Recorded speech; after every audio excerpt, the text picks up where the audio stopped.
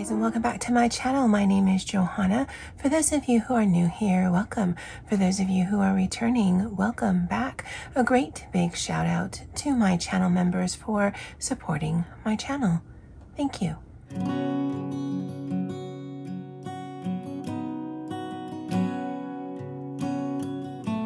All right, so we're going to do the next installment of Hobonichi Weeks Wednesday. Uh, this is my A5 logbook from Hobonichi. This is One Piece inspired. Inside here, I have my One Piece Hobonichi Weeks January Start English Edition. This is my everyday carry. I do have an A5 uh, Hobonichi notebook uh, that I stick in here for job processes. I rarely ever change any of this. And I actually already did set up for this week. And I go through that little intro just because, just in case you're new, uh, you can see what my setup is. Uh, I know a lot of the videos that I watch regarding Hobonichi weeks, it seems very aesthetic, very made to be seen on social media, whether it's Pinterest or YouTube or Instagram, TikTok, whatever. Mine is actually very functional. Uh, it is decorative because it inspires me to come back to this on a weekly basis, but it is a working living document for me. So I'll skip here. And this is the week that we're going into. It is currently Sunday, the 25th, I believe. Yeah, so tomorrow is the 26th. And so I just finished up this sticker sheet. I had actually used this a few weeks ago.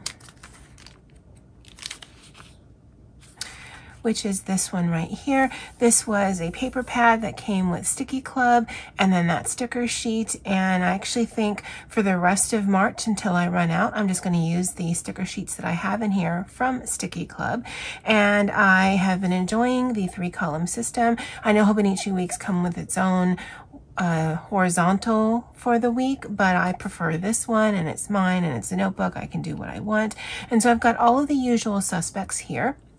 This is just an ongoing uh, completed task list for me during the work week. I have an idea of what I'll be able to get done this week, so this is fine. In some previous weeks, I've actually had to go through or to the entire page for my completed task list just because there was just a lot going on. I do like to uh, do a quote of the week, a word of the week. This is going to be thoughts, although I didn't write that down, so I'll have to do that afterwards. A place where I uh, put some notes for me to just remind myself of things to do for the following week. Any overtime I work, generally I write what I'm working on the weekends because the overtime I work during my work week is just an extension of the daily tasks I'm doing here and then the lunches that I eat and film uh, for these videos. I don't know why I do it. I like feeling like I'm a Korean vlogger and I, I film my meals only during the work week. I don't film any kind of setup or anything like that. It's just, hey, this is lunch for me today. And I just do that every single day. I don't know why, but I do. I uh, do have a little bit of a mood tracker down here. And then the artwork here is by Rebecca Terborg underscore illustration on Instagram. I'll go ahead and I'll link it below in the description box if you're interested in checking out their Instagram page as well as Stickii Club, not affiliated with either of them, uh, not sponsored or anything like that. It's just um, when I can, I like to uh, recognize the artist that I'm using for that particular week. So this is the week I just finished. Uh, there is uh, lots of meetings, honestly, too many meetings. And I wish I didn't have to attend them, but I do. And I just filled in some of the spaces with uh, some of these stickers. So it's actually quite sticker heavy. And these are not only kind of thick because they're like PET stickers, but because they look like stamps, they are heavily ridged.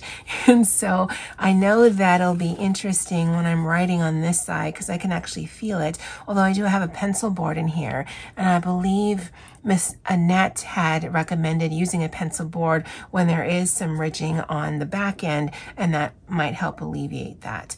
The word of the week was fathom, and that is to understand the reason for its existence or occurrence.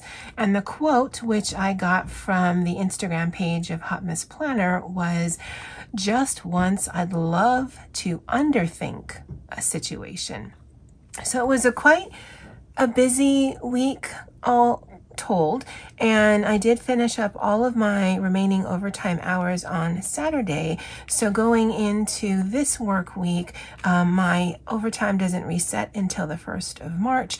And so Monday through Thursday, it's just going to be an eight hour day for me. I'll actually take a full on lunch hour it has been sporadic when I've been able to do that. I know I had that happen at the end of January for three days because I'd used up all of my hours and it just felt weird to only work eight hours to take a full on one hour lunch break, but I am looking forward to it. So there is that. Anyway, that's my setup for this week, a flip through of last week. And as I do, I'll end this video with what I've eaten for the past work week. All right, guys, that's it for me for now.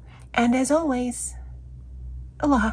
Hey guys, lunch for today, Tuesday, February 20th, is some leftovers. I've actually got back-to-back -back meetings, so it was just something I could heat up quick. It's some leftover stovetop stuffing with corn and rotisserie chicken from Costco. The stuffing and the corn are warm, but I actually don't like reheated chicken unless it's fried chicken and I put it in the air fryer. but uh, there's some ketchup and Tabasco. First meal of the day, water throughout, and definitely a hot coffee later on because it's quite cold. Anyway, that's it for today. I'll see you guys tomorrow. Hey guys, lunch for today, Wednesday, February 21st, is just some things from the fridge. Again, I've got meetings 11 to 1 every day through the first week of March. And so I gotta pull things together that are quick. So I've got a mac Kraft and cheese, no, a Kraft mac and cheese quick bowl thingy, just microwaved. Usually I find them a little bland, and so I added a little bit of garlic powder, and that definitely helped. I've got a grilled hot dog on a grilled bun. Hot dog is left over from last night. The bun was already kind of old. Grilling helps it more ketchup, relish, and mustard than you probably are generally used to seeing, but I like it, so whatever. Uh, some iceberg lettuce and cucumber with some vinegar and dill pickle ranch. First meal of the day. Water throughout. It is chilly today, and so I'm definitely going to have a hot coffee later on this afternoon. All right, guys, I'll see you guys tomorrow. Hey, guys, lunch for today, Thursday. February 22nd is chicken nugget pizza rice. That's what I'm calling it because there's pepperoni, uh, some cucumbers, wasabi, and sauces. I'm in a meeting right now, so I gotta go.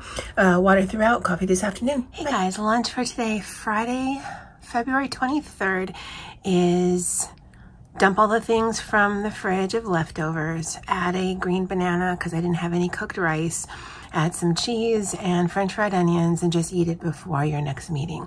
I actually started at 6.30 and was running reports, had meetings from 8 to 12.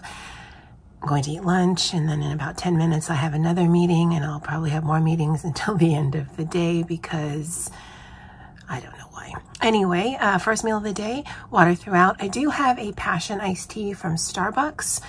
Um, uh, with this, uh, we actually got that yesterday and I'm just finishing it up and it's really delightful. No sugar or anything, just straight up iced passion tea and probably a coffee this afternoon. I'm running out of hours before dinner. I know it's a weird way to think of things, but I usually eat earlier than this, but I just, I never had the opportunity. So we'll see. It's Friday. I'm running errands tomorrow, but I'm also working tomorrow. So yeah. Anyway, guys, hope you guys had or have a great weekend. Bye.